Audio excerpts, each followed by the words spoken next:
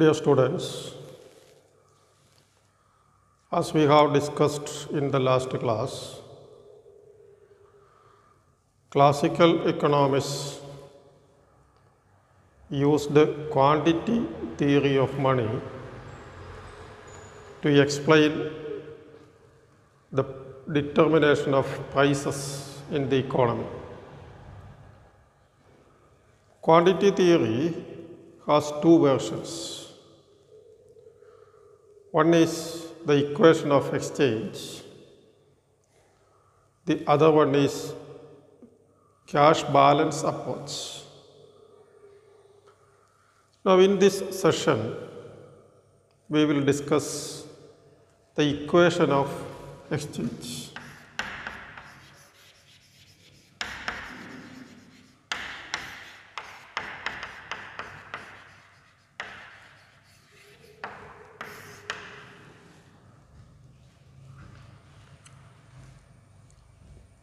People hold money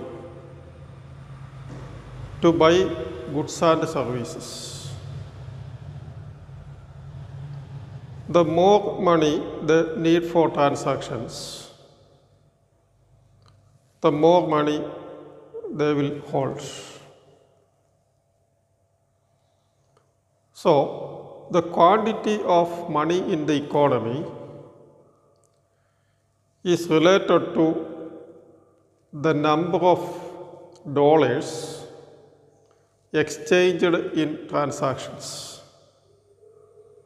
Quantity of money in the economy is related to number of dollars exchanged in transactions.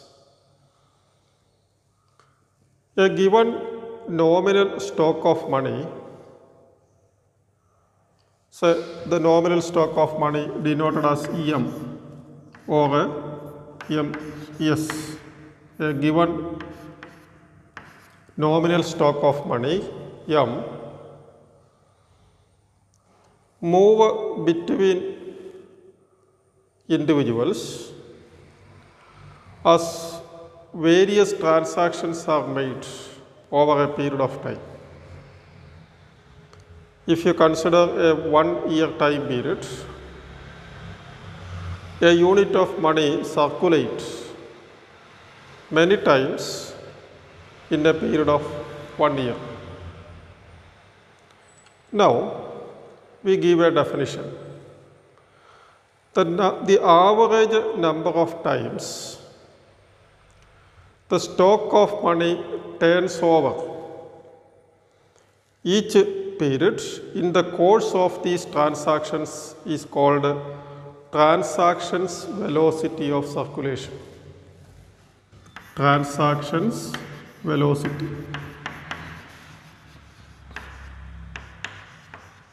Denoted as V.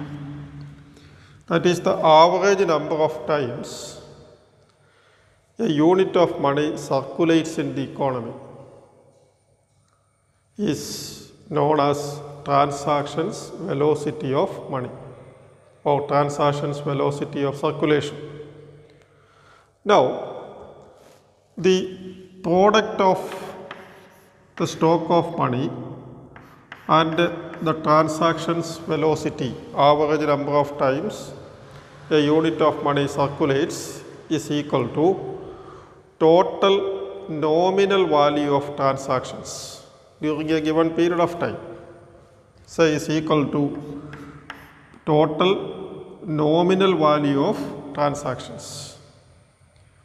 Total nominal value of transactions. We denote it as pt that i explained. So money stock multiplied by transactions velocity is equal to total nominal value of transactions during a given period of time, say one year. Now, the link between transactions and money is expressed in the form of an equation. The link between transactions, nominal value of transactions, and stock of money is expressed in the form of an equation known as equation of exchange or also known as quantity equation. Equation of exchange or what is known as quantity equation. The link between transactions and money. And uh, this quantity equation or equation of exchange is an identity. It is an identity relating volume of transactions at current prices to volume of transactions at current prices to supply of money times velocity of circulation. So, equation of exchange is an identity relating volume of transactions at current prices volume of transactions and at current prices to stock of money multiplied by the volume of transactions. In the form as it is used by the American economist Irving Fisher, this identity is written as MV, MS or MV is equal to PT.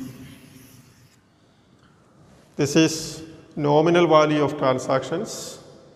MS or simply M is the quantity of money. We simply write it as M, supply of money.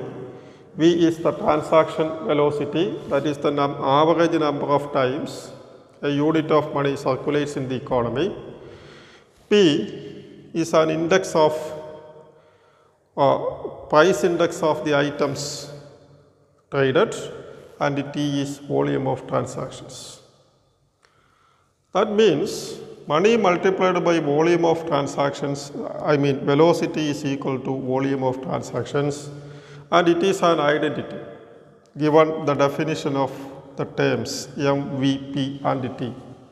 It is an identity. The definition of these variables make it true. But this equation is useful because it shows that as one of the variable changes, one or other, one or uh, one of the others must change to maintain the equality. For example, if money stock increases with V remaining unchanged, then either P or number of transactions will change to maintain the equality. So, this is the equation of exchange MV is equal to PT, an identity relating money multiplied by velocity is equal to volume of transaction at the current prices. Now, when we study the role of money in the economy, that is to explain the role of money as a determinant of price level, economists use a slightly different version of the quantity theory. The problem with this quantity equation is that the number of or the volume of transactions T is difficult to measure. So, we replace T with the V, so, so Y, so that MV is equal to PY. T is the volume of transactions. And uh, the problem is T is difficult to measure. So, T is replaced by Y.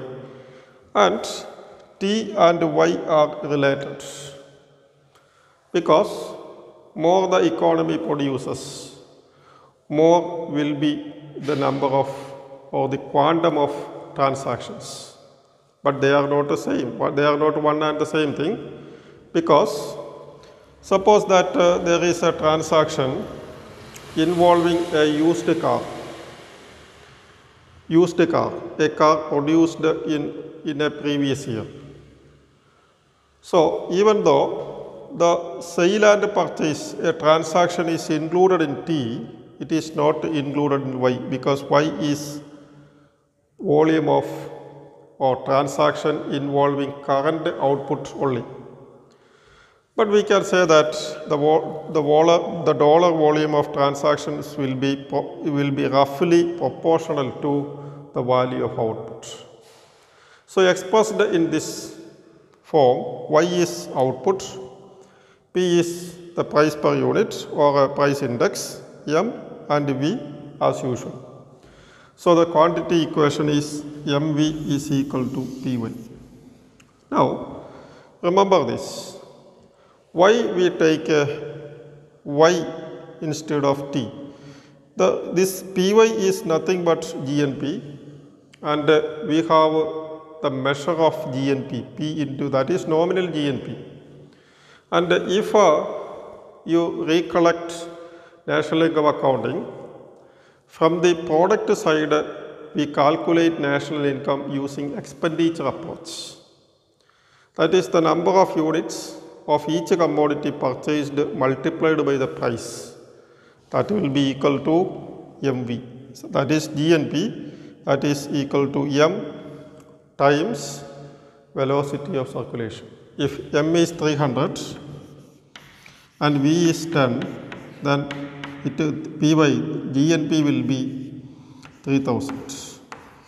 3000 in nominal terms.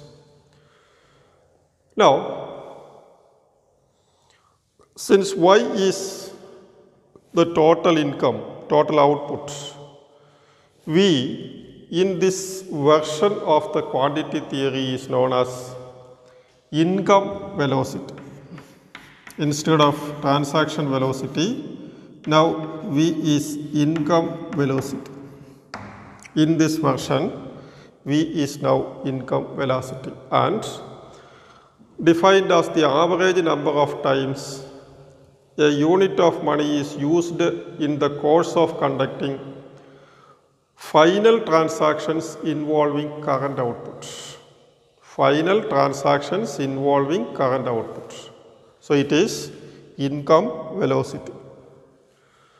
And the equation of exchange is a truism.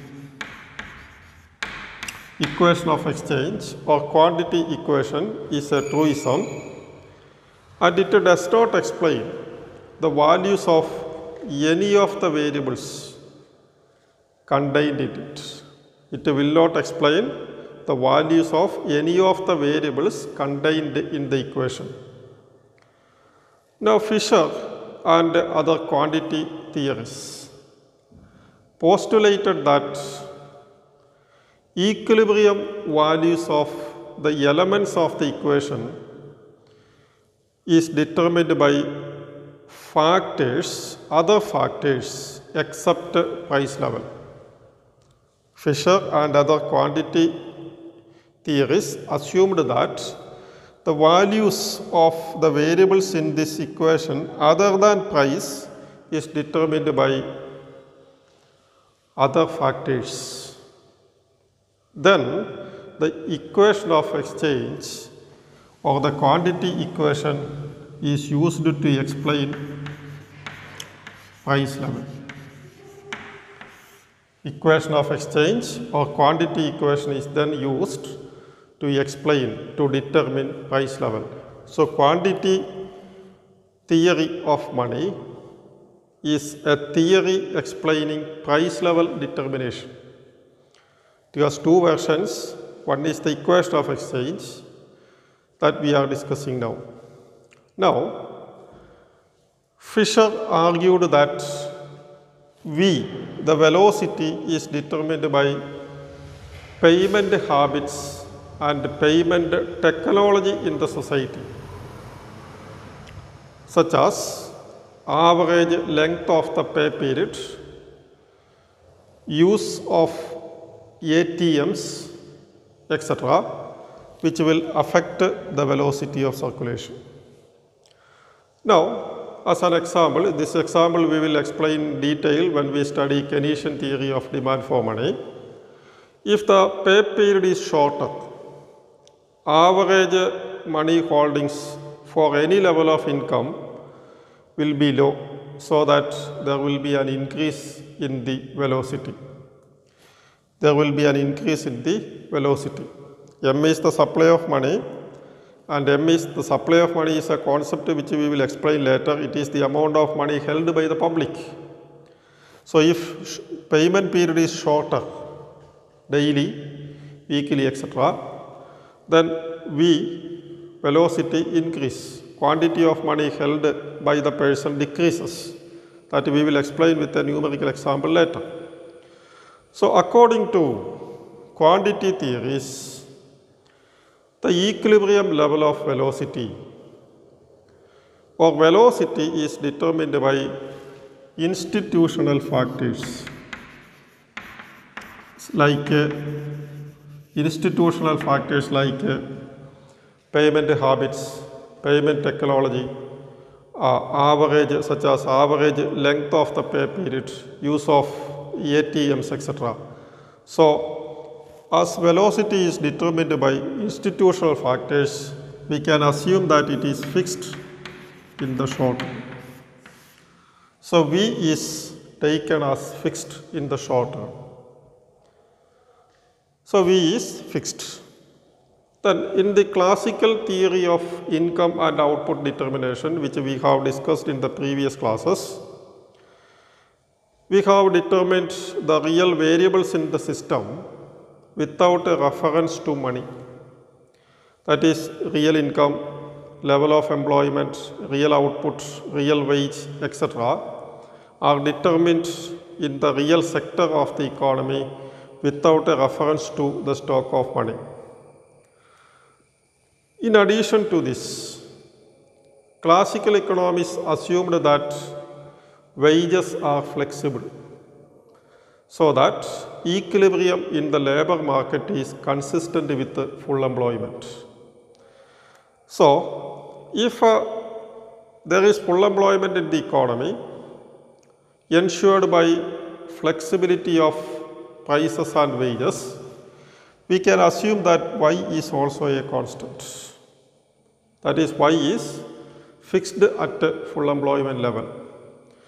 So, v is fixed, y is fixed.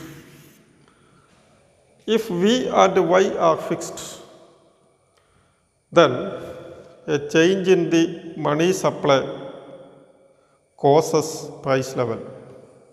A change in the money supply causes price level.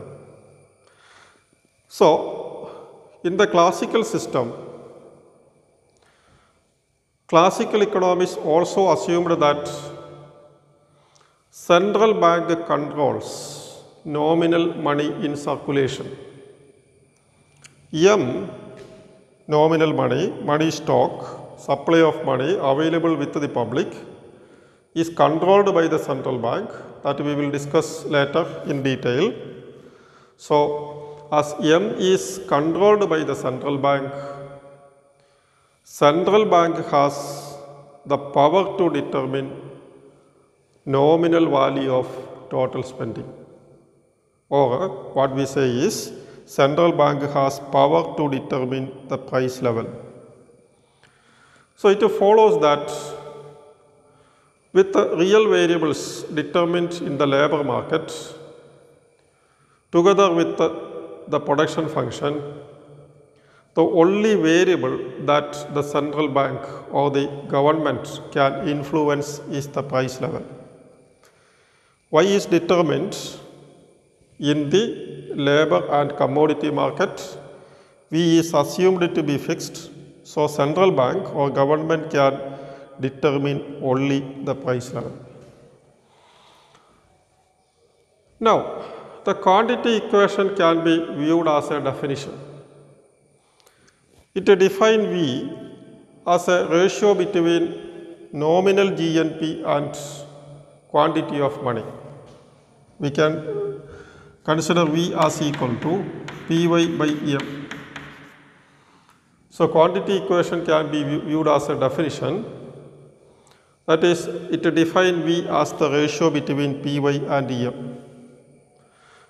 But if V is predetermined, if V is predetermined and not simply defined to equate MV is equal to Py, then equation of exchange is not merely a definition.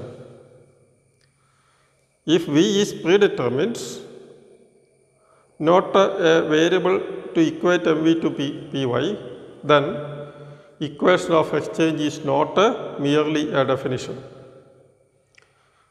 Let, let me explain this in the form of a definition. With output fixed from the supply side, equation of exchange now expresses a relationship of proportionality between exogenously given money supply and price level. So, with the output fixed from the supply side, equation of exchange now expresses a relationship of proportionality between the stock of money, the supply of money and price level. That is, M into V bar is equal to P into Y bar. Bar means that their quantity is fixed. So that P is equal to V bar by Y bar into M. That is, P is proportional to M, keeping V and Y constant. Keeping V and Y constant. So, this equation indicates that price level depends on the supply of money. P is proportional to the supply of money. If uh, there is a doubling of the money supply, there will be a doubling of price level. If there is a 10% increase in the supply of money, there will be a 10% increase in price level. If there is a doubling of the supply of money, there is a doubling of price level. So, in the classical theory, price level is determined by money supply. It is explained by the by the quantity theory of money. Remember this in economics, theories are used to explain economic phenomena. So, quantity theory is a theory explaining price level. So, this is the basic result of the quantity theory. Quantity of money determines price level.